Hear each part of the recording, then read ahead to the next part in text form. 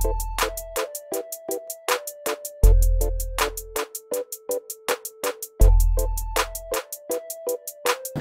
रहे जी का आपने शेर सुना होगा कि रंग इस मौसम में भरना चाहिए। रंग इस मौसम में भरना चाहिए। सोचते हैं प्यार करना चाहिए। और इश्क का इजहार दिल में हो मगर कोई पूछे तो मुकरना चाहिए मैं भी जो सपना जी ने सुनाया, उसी पृष्ठभूमि से एक कविता सुनाना चाहूँगा। कैसा कलयुग जहाँ नारी हर रोज़ आबरूक होती है, कविता के शीर्षक से। उम्मीद करता हूँ आपको पसंद आएगी। कैसा कलयुग जहाँ नारी हर रोज़ आबरूक होती है इंसानियत इंसानों की अब आँख मूंद कर सोती है। इंसानियत इंसानों की अब आँख मूंद कर सोती है। और पहला बंध कि अरमान दिल में थे बहुत। अरमान दिल में थे बहुत, मगर अधूरे रह गए।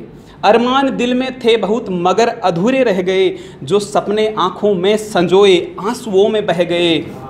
घर बाहर बचपन जवानी। घर बाहर बचपन जवानी महफूज नहीं कहीं भी। देख बेटी की लाचारी माँ भारती भी रोती है। कैसा कलयुग जहाँ नारी हर रोज आबरू है। दूसरा वन कि कोंख से बचकर आई जग में कोंख से बचकर आई जग में हवस से बचना पाई।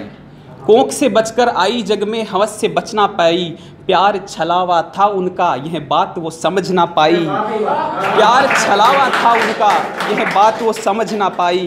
कुछ अपनों ने छला तो कुछ ने अपना बनकर घात किया। कुछ अपनों ने छला तो कुछ ने अपना बनकर घात किया। कुछ दुष्टों के कुकर्मों से मानवता लज्जित होती है। कैसा कलयुग जहाँ नारी हर रोज आबरूक होती है। जात धर्म कुछ नहीं उनकी, ना वो किसी की देखते हैं। रेपिस्टों के लिए बोलते हैं कि जात धर्म कुछ नहीं उनकी, ना वो किसी की देखते हैं। कुछ तो निर्लज इतने भी, बस खड़े खड़े सब देखते हैं। मत भूलो नारी जग जगजननी, नारी से है जग का प्रसार। मत भूलो नारी जग जगजननी, नारी से है जग का प्रसार। नारी है देवी समतुल्य, वही बीज मनु का बोती है। कैसा कलयुग जहाँ नारी आबरू।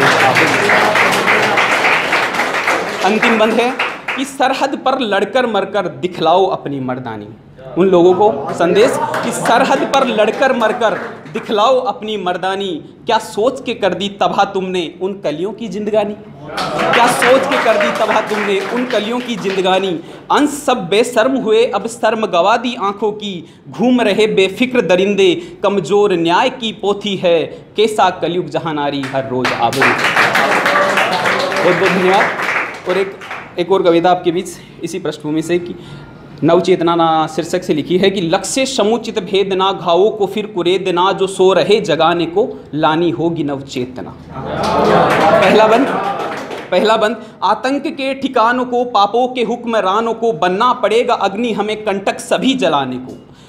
आतंक के ठिकानों को, पापों के हुक्मरानों को बनना पड़ेगा। अग्नि हमें कांटक, कंटक सभी जलाने को, निज राष्ट्र की सुरक्षा में लगाए कोई सेंधना। जो सो रहे, जगाने को लानी होगी नवचेतना। दूसरा बंद, जिनको सत्ता हम सौंपते, जिनको सत्ता हम सौंपते है, वहीं जहर घोलते। जिनको सत्ता हम सौंपते हैं, वहीं जहर घोलते। ग्रह युद्ध प्रबल हुआ है, वो बोल ऐसे बोलते। लगा दो प्रतिबंध उन पर, दिखाओ मत संवेदना, जो सो रहे जगाने को। लानी होगी नवचेतना। अंतिम मंत्र, कि गरीबी अब तक जमी है। देश आज़ाद हुए इतने साल हो गए, जो उम्मीदें थी आज़ादी के टाइम, अब तक, लेकिन वो पूर्ति नहीं हो कि गरीबी अब तक जमी है जातिया भी खूब रमी है। नींव को कमज़ोर करती, ढांचे की हर एक कमी है। जड़ से मिटानी है हमें, राष्ट्र से है इनको खेदना।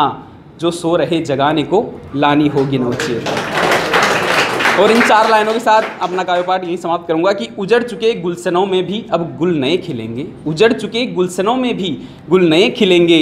शब्दों को स्वतंत्र करो कि नहीं अब लब सिलेंगे और जहन में हमारी बातों को जरा सा ही रख लेना। जहन में हमारी बातों को जरा सा ही रख लेना। यदि खुदा ने चाहा तो कभी हम फिर से मिलेंगे।